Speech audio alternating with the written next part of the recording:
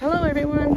Well, I haven't been on here much. We uh, went and bought a four season fifth wheel to uh, eventually live in on my son's property and we took off right away down south to grab the grand, uh, my grandsons and take them back to Fort St. John with us. And we've been traveling and we've been to Barkerville and stopped at campsites. This is our last campsite for today. We'll be home and uh, this is Whisker Point before uh, Mackenzie on Highway 97 North and uh, it's a beautiful lake. Gorgeous and it's sandy. It's got a playground.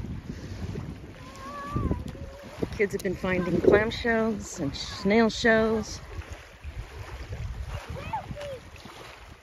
It's just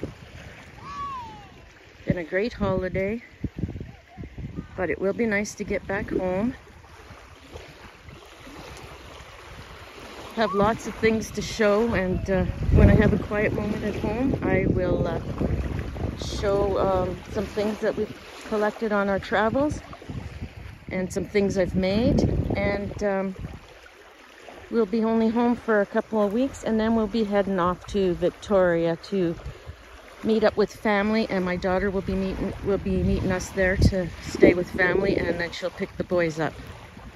So uh, yeah it's so peaceful. Oh, I wish we didn't have to go home today but we do. But anyways I will connect uh, with you all in uh, in a day or two. Bye for now